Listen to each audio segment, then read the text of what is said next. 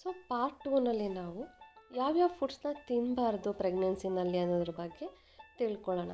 ಏನಪ್ಪ ಫಸ್ಟ್ ವೀಡಿಯೋದಲ್ಲಿ ಎಲ್ಲ ತಿನ್ಬೋದು ಅಂತ ಹೇಳ್ಬಿಟ್ಟು ಈ ಸೆಕೆಂಡ್ ವೀಡಿಯೋನಲ್ಲಿ ಏನು ತಿನ್ನಬಾರ್ದು ಕೆಲವೊಂದು ತಿನ್ನಬಾರ್ದು ಅಂತ ಹೇಳ್ತಿದ್ದೀರಲ್ಲ ಅಂತ ಅನ್ಕೋಬೋದು.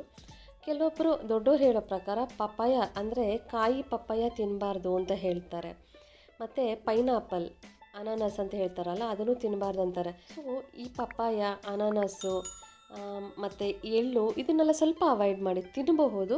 ಏನೂ ಆಗೋದಿಲ್ಲ, ಆದರೂ ಭಯ ಇರುತ್ತೆ ನಮಗೆ, ಏನಾಗುತ್ತೋ ಅನ್ನೋ ಭಯ ಎಲ್ಲ ಇರುತ್ತಲ್ಲ? ಸೊ ಹಾಗಾಗಿ ಅದನ್ನು ಅವಾಯ್ಡ್ ಮಾಡಿ. ಈ ಮೂರು ಐಟಮು ಜಾಸ್ತಿ ಹೀಟ್ ಇರೋದ್ರಿಂದ ತಿನ್ನಬಾರ್ದು ಅಂತ ಹೇಳ್ತಾರೆ ಅಷ್ಟೇ. ಮತ್ತು ನಾನ್ ವೆಜ್ ತಿನ್ನೋರು ದಯವಿಟ್ಟು ಚೆನ್ನಾಗಿ ಬೇಯಿಸಿರಬೇಕು.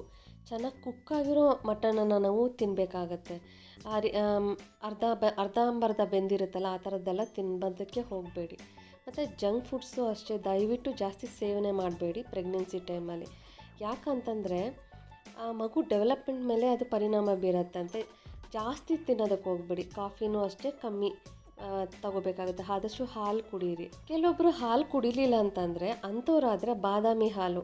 ಅಂತಂದರೆ, ಈ ಬಾದಾಮಿನ ಒಂದು ಹತ್ತರಿಂದ ಹನ್ನೆರಡು ನೆನೆಸ್ಬಿಟ್ಟು ಅದನ್ನು ಸಿಪ್ಪೆ ತೆಗೆದು ಬೆಳಗ್ಗೆ ಮಿಕ್ಸಿನಲ್ಲಿ ಗ್ರೈಂಡ್ ಮಾಡಿ, ಅದಕ್ಕೆ ನೀರೊಂಚೂರು ಹಾಕಿ ಅದನ್ನು ಸಹ ನೀವು ಹಾಲಾಗಿ ಕುಡಿಬೋದು. ತುಂಬಾ ಒಳ್ಳೆಯದು. ತುಂಬ ಹೆಲ್ದಿ ಅಂತಲೇ ಅನ್ಬೋದು. ಅದನ್ನು ಬಿಟ್ಟರೆ ನೀವು ತೆಂಗಿನಕಾಯಿದು ಹಾಲು ಬರುತ್ತಲ್ಲ, ಅದರಲ್ಲೂ ಸಹ ನೀವು ಕುಡಿಬೋದು. ಅದಕ್ಕೂ ನೀವು ಬೇಕಾದ್ರೆ ಸಕ್ಕರೆ, ಏಲಕ್ಕಿ ಅಥವಾ ಬೆಲ್ಲ, ಏಲಕ್ಕಿ ಹಾಕ್ಕೊಂಡು ಕುಡಿಬೋದು. ಬೇಕಾದ್ರೆ ನೀವು ತೆಂಗಿನ ಹಾಲಲ್ಲಿ ಕಾಫಿ ಮಾಡಿ ಸಹ ಕುಡಿಬೋದು. ಸಾಮಾನ್ಯವಾಗಿ ಗರ್ಭಿಣಿಯರಿಗೆ ಭಯ ಇರುತ್ತೆ. ನಾವು ಯಾವ ಕಡೆ, ಅಂದರೆ ಕೆಲವೊಬ್ಬರೆಲ್ಲ ಹೇಳ್ತಾರೆ, ಎಡಗಡೆನೇ ಮಲಗಿರಬೇಕು ಅಂತ ಹೇಳ್ತಾರೆ. ನಿಮ್ಮ ಕಂಫರ್ಟ್ ಝೋನ್ ಫ್ರೆಂಡ್ಸ್ ನೀವು ಯಾವ ಕಡೆ ನಿಮ್ಗೆ ಇಷ್ಟ ಆಗುತ್ತೋ ಆ ಕಡೆ ಮಲಗ್ಬೋದು. ಅಥವಾ ಲೆಫ್ಟ್ ಸೈಡೇ ಮಲಗಬೇಕು ಅಥವಾ ರೈಟ್ ಸೈಡೇ ಮಲಗಬೇಕು ಅನ್ನೋದು ಏನೂ ಇಲ್ಲ. ನೀವು ಬೇಕಿದ್ದರೂ ಅಂಗಾತನೂ ಮಲಗಬಹುದು, ಆದರೆ ಹೊಟ್ಟೆ ಜಾಸ್ತಿ ಆಗ್ತಾ ಆಗ್ತಾ ಆ ಥರ ಎಲ್ಲ ಮಲಗೋದಕ್ಕಾಗಲ್ವಲ್ಲ? ನಿಮ್ಮ ಕಂಫರ್ಟ್ ಝೋನ್ ನಿಮ್ಗೆ ಯಾವ ಥರ ಬೇಕಾದರೂ ಮಲಕ್ಕೋಬಹುದು ತೊಂದರೆ ಪ್ರೆಗ್ನೆನ್ಸಿ ಟೈಮಲ್ಲಿ ನೀವು ಸುಮಾರು ಹೊತ್ತು ಒಂದೇ ಕಡೆ ಕುತ್ಕೊಂಡಿರೋದಾಗಲಿ ಅಥವಾ ತುಂಬ ಹೊತ್ತು ನಿಂತ್ಕೊಂಡಿರೋದಾಗಲಿ ಈ ರೀತಿ ಮಾಡೋಕ್ಕೆ ಹೋಗ್ಬೇಡಿ. ನಿಮ್ಗೇನಾದ್ರು ಸ್ಟ್ರೈನ್ ಅನಿಸ್ತಾ, ಆಯಾಸ ಏನಾದ್ರು ಆದರೆ ದಯವಿಟ್ಟು ರೆಸ್ಟ್ ಮಾಡಿ.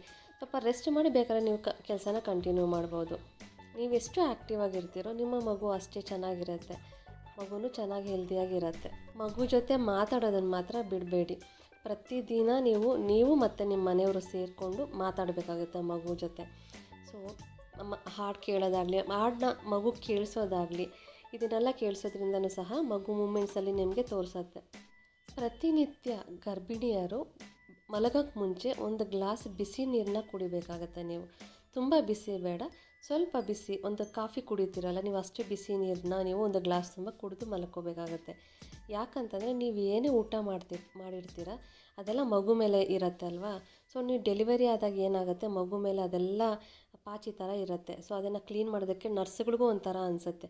ಸೊ, ಹಾಗಾಗಿ ನೀವು ಮಲಗೋಕ್ಕೆ ಮುಂಚೆ ಪ್ರತಿನಿತ್ಯ ಒಂದು ಐದಾರು ತಿಂಗಳು ಆದಮೇಲೆ ನೀವು ಪ್ರತಿನಿತ್ಯ ಒಂದು ಗ್ಲಾಸ್ ನೀರನ್ನ ಕುಡಿಯೋ, ಬಿಸಿ ನೀರನ್ನ ಕುಡಿಯೋದನ್ನು ಮಾತ್ರ ಮರೆಯಬಾರ್ದು. ಮಗು ಮೇಲೆ ಏನೇ ಗಲೀಜಿದ್ರೂ ಸಹ ನೀವು ಕುಡಿಯೋ ಬಿಸಿ ನೀರಿಂದ ಹೊಟ್ಟೋಗುತ್ತೆ.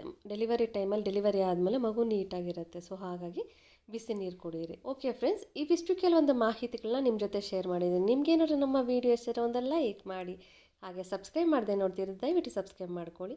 ಲೈಕ್ ಮಾಡಿ, ಶೇರ್ ಮಾಡಿ. ನಿಮ್ಗೇನೇ ಡೌಟ್ಸ್ ಇದ್ರೂ ಅಥವಾ ನಿಮ್ಗೇನೇ ಸಜೆಷನ್ ಅಥವಾ ಫ್ರೀಡಪ್, ಫೀಡ್ಬ್ಯಾಕ್ ಕೊಡಬೇಕಂದ್ರೂ ಸಹ ಕಮೆಂಟ್ ಮೂಲಕ ತಿಳಿಸ್ಕೊಡ್ಬೋದು. ಇಲ್ಲಿವರೆಗೂ ನಮ್ಮ ವಿಡಿಯೋ ನೋಡಿದ್ದಕ್ಕೆ ಥ್ಯಾಂಕ್ ಯು